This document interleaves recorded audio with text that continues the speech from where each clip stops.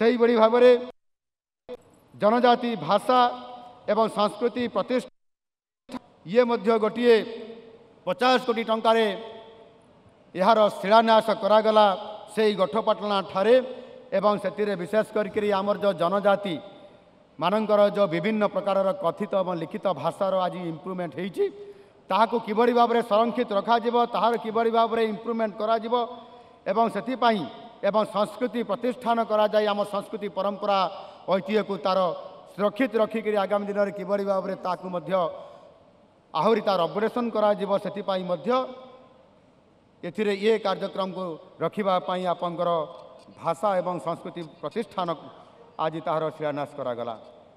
ତା ସହିତ ସବେନର ଷ୍ଟୋର ଏବଂ ଓଡ଼ିଆ ଅସ୍ମିତା ସେଣ୍ଟର ସେଇ ଆମର ବିଶେଷ କରି ରିସର୍ଚ୍ଚ ସେଣ୍ଟର ଯେଉଁ ଅଛି କ୍ୟାମ୍ପସ୍ ତା ମଧ୍ୟରେ ମଧ୍ୟ ତାର ଭିତ୍ତିପ୍ରସ୍ତର ମଧ୍ୟ ଆଜି ପ୍ରଦାନ କରାଗଲା ତା ସହିତ କିଛି ସ୍ଥାନରେ କିଛି ଜିଲ୍ଲାରେ multipurpose centre M P C ତାହା ମଧ୍ୟ ଆମେ କିଛି ଜାଗାରେ କରାଯାଇଛି ଯାହାଫଳରେ କି ସମୁଦାୟ ଇଏ ଜନଜାତି S T S C minority ଏ ବିଭାଗର ବିଶେଷ କରିକରି ଆଦିବାସୀ ବର୍ଗର ଛାତ୍ରଛାତ୍ରୀ ଏବଂ ଶିକ୍ଷା ବିଭାଗ ସହିତ ସମ୍ପୂର୍ଣ୍ଣ ଭାବରେ ଇଏ ଆଦିବାସୀ ସମ୍ପ୍ରଦାୟର ଆମର ସୁରକ୍ଷା ଏବଂ ସଂସ୍କୃତି ଐତିହ୍ୟ ପରମ୍ପରାକୁ କିଭଳି ଭାବରେ ବଜାଇ ରଖିବା ପାଇଁ ସମ୍ପୂର୍ଣ୍ଣ ଭାବରେ ପନ୍ଦରଶହ ପଇଁତିରିଶ କୋଟି ଟଙ୍କାର ଏକ ହଜାର ପାଞ୍ଚଶହ ପଇଁତିରିଶ କୋଟି ଟଙ୍କାର ବଜେଟ୍ର ଯାହା ପ୍ରାବଧାନ ରଖାଯାଇଛି ତାହାର ଭିତ୍ତିପ୍ରସ୍ତର ପ୍ରଦାନ ଭିତ୍ତିପ୍ରସ୍ତର ଆଜି ଦିଆଗଲା ଯେଉଁଥିପାଇଁ କି ଆଗାମୀ ଦିନରେ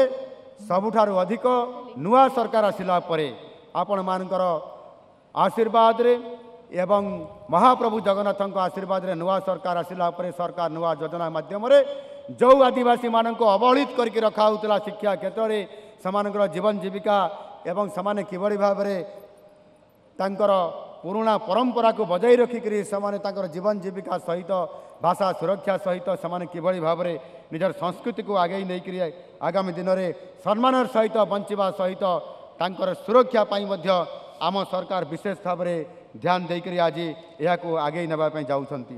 ପରିଶେଷରେ ମୁଁ ଆପଣମାନଙ୍କୁ କହିବା ପାଇଁ ଚାହେଁ ଏଠି ସ୍ୱତନ୍ତ୍ର ଭାବରେ ଅନେକ ସମୟରେ ଆମର ଆଦିବାସୀ ପିଲାମାନେ ବିଭିନ୍ନ ସମୟରେ ଡ୍ରପ୍ ଆଉଟ୍ ହେଉଥିବାର ଅନେକ ସମୟରେ ରେକର୍ଡ ମଧ୍ୟ କହୁଛି।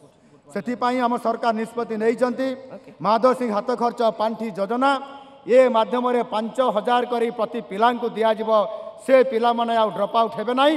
ଆମ ପିଲାମାନେ ମଧ୍ୟ ଶତ ପ୍ରତିଶତ କେମିତି ପାଠ ପଢ଼ିକିରି ଆମ ସମାଜକୁ ଆମ ଆଦିବାସୀ ସମାଜକୁ ଏବଂ ସଂସ୍କୃତିକୁ ବଞ୍ଚାଇ ରଖିବା ସହିତ ସେମାନେ ଶିକ୍ଷିତ ହେବେ ଥଇଥାନ ହେବେ ଜୀବନ ଜୀବିକା ବଞ୍ଚି ରହିବ ତାକୁ ଆଧାର କରି ଇଏ ମାଧବ ସିଂ ହାତ ଖର୍ଚ୍ଚ ପାଣ୍ଠି ଯୋଜନା ଆଗାମୀ ଦିନରେ କାର୍ଯ୍ୟକାରୀ ହେବା ପାଇଁ ଯାଉଛି ଖୁବ୍ ଶୀଘ୍ର। ଏବଂ ପେସା ଆକ୍ଟ ଗ୍ରାମ ସଭା ମାଧ୍ୟମରେ ପ୍ରତି ଆଦିବାସୀ ଗ୍ରାମରେ ସାମଗ୍ରିକ ବିକାଶ ପାଇଁ କିଭଳି ଭାବରେ ସେଠି ହେଇପାରିବ ସେଥିପାଇଁ ମଧ୍ୟ ମାନନୀୟ ଯଶସ୍ୱୀ ପ୍ରଧାନମନ୍ତ୍ରୀ ଯେ ଜନମନ ଯୋଜନା କାର୍ଯ୍ୟକାରୀ କରିବା ପାଇଁ ଯାଉଛନ୍ତି ଏବଂ ତାହା ମାଧ୍ୟମରେ ସମ୍ପୂର୍ଣ୍ଣ ଭାବରେ ପ୍ରତି ଗାଁରେ ଗ୍ରାମ ସଭା ହେବ। ସାତ ହଜାର ଛଅଶହ ସତଷଠି ଗ୍ରାମରେ ଗ୍ରାମ ସଭା କରାଯିବ। ଦୁଇଶହ ଚଉତିରିଶଟି ବ୍ଲକରେ ଏବଂ ସତେଇଶଟି ଜିଲ୍ଲାରେ। ସମସ୍ତ ଆଦିବାସୀ ଲୋକମାନଙ୍କର ସାମଗ୍ରିକ ବିକାଶକୁ କିଭଳି ଭାବରେ ସମାଜର ମୁଖ୍ୟ ସ୍ରୋତରେ ସାମିଲ କରିବା ପାଇଁ ଏ କାର୍ଯ୍ୟକ୍ରମ ରଖାଯାଇଛି। ଏହା ମଧ୍ୟ ନିଶ୍ଚିତ ଭାବରେ ଆଗାମୀ ଦିନରେ କାର୍ଯ୍ୟକ୍ରମ ହେବ ଏବଂ ଧରତୀ ହେବା ଜନଜାତି ସମୃଦ୍ଧ ଗ୍ରାମ ଅଭିଯାନ ମାଧ୍ୟମରେ ମଧ୍ୟ ଆଜି ମାନନୀୟ ପ୍ରଧାନମନ୍ତ୍ରୀଜୀ ଏହାକୁ ଉତ୍ସର୍ଗ କରିବେ। ଜଙ୍ଗଲ ଜମି ଅଧିକାର ଏଫ୍ଆର୍ଏ ଅଧିକାର ଏ ଆଇନ ବଳରେ ବିଶେଷ କରିକିରି ବିଶେଷ ଅନୁନ୍ନତ ଜନଜାତି ଯେଉଁମାନଙ୍କୁ ପିଭିଟିଜ୍ କୁହାଯାଉଛି ଏବେ ଆପଣମାନଙ୍କର ସାମନାରେ ତାଙ୍କୁ ବସବାସର ଅଧିକାର ହେବିଟାଟ୍ ରାଇଟ୍ସ ମାଧ୍ୟମରେ ଯେଉଁମାନେ ଯେଉଁଠି ରହୁଛନ୍ତି ତାଙ୍କର ସୁବିଧା ଏବଂ ତାଙ୍କୁ ରହିବା ପାଇଁ ବ୍ୟବସ୍ଥା ଘର ବ୍ୟବସ୍ଥା ସହିତ ଆନୁଷଙ୍ଗିକ ବ୍ୟବସ୍ଥା କରାହେବାର ବ୍ୟବସ୍ଥା ଯୋଜନା କରାଯାଉଛି। ଏହାକୁ ମଧ୍ୟ ଆଜି ସାକାର କରିବା ପାଇଁ ଚାଲିଛି। ଏହା ସହିତ ଜନଜାତି ସମ୍ପ୍ରଦାୟକୁ ତାଙ୍କର ଅଧିକାର ପାଇଁ ବ୍ୟକ୍ତିଗତ ଭାବରେ ସତ୍ତାଧିକାର ସମସ୍ତଙ୍କୁ ଚାରି ଲକ୍ଷ ଷାଠିଏ ହଜାର ଲୋକଙ୍କୁ ସେଇ ଜାଗାରେ ତାଙ୍କୁ ପଟ୍ଟା ଜମି ଦିଆଯାଇକରି ସେଠି ବସବାସ କରିବା ପାଇଁ ଏ ସୁବିଧା ଆଜି ସରକାର ତାର ବ୍ୟାପକ ଭାବରେ ବ୍ୟବସ୍ଥା କରୁଛନ୍ତି ଯାହାଫଳରେ କି ଆଗାମୀ ଦିନରେ ଜନଜାତିକୁ ସମୃଦ୍ଧଶାଳୀ କରାଯାଇପାରିବ। ବର୍ତ୍ତମାନ ମୁଁ ଆପଣମାନଙ୍କୁ ସମସ୍ତଙ୍କୁ ଅନୁରୋଧ କରିବି। ଆପଣମାନେ ଆଜି ଇଏ ପବିତ୍ର ଜନଜାତୀୟ ଗୌରବ ଦିବସର ଶହେ ପଚାଶତମ ଜୟନ୍ତୀ ଭଗବାନ ବିର୍ସା ମୁଣ୍ଡାଙ୍କର ଏହି ଅବସରରେ ଆମେ ସମସ୍ତେ ପ୍ରଧାନମନ୍ତ୍ରୀଙ୍କ ସହିତ ତାଙ୍କର ବକ୍ତବ୍ୟକୁ ଆମେ ଶୁଣିବା ପାଇଁ ସମସ୍ତେ ଆପଣମାନେ ଅପେକ୍ଷା କରିଛନ୍ତି। ମୁଁ ଆଉ ପ୍ରତିବନ୍ଧକ ହେବି ନାହିଁ। ମୁଁ ଅନୁରୋଧ କରିବି ସମସ୍ତେ ପ୍ରଧାନମନ୍ତ୍ରୀଙ୍କର ବକ୍ତବ୍ୟକୁ ଆମେ ସମସ୍ତେ ଶୁଣିବା ଏବଂ ଆଜିର ଏହି କାର୍ଯ୍ୟକ୍ରମକୁ ଆମେ ସଫଳ ରୂପାୟନ ଦେବା। ଧନ୍ୟବାଦ। ନମସ୍କାର। ବନ୍ଦେ ଉତ୍କଳ ଜନନୀ। ଧନ୍ୟବାଦ। जदि आपंक आम भिडी भल लगा तेब आम चैनल को लाइक सेयार और सब्सक्राइब करने को जमा भी बुलां नहीं।